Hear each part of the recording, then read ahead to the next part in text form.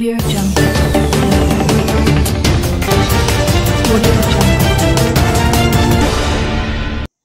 Nigerian ambassador in Tokyo, Japan, Abubakar Husaini, has congratulated Nigerians residing in Japan at the 61st independence anniversary.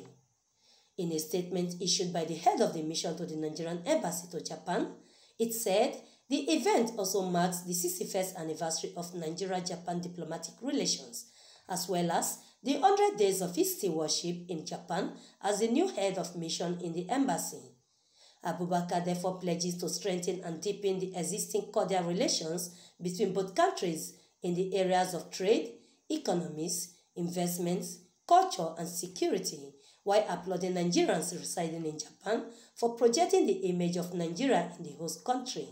According to him, the giant strides to achieving success in the just concluded Tokyo 2020 Olympic and Paralympic Games was geared by the brilliant performance of Team Nigeria that participated as they were well received even as their welfare and challenges were addressed by the embassy, which basically encouraged them to perform excellently at the games.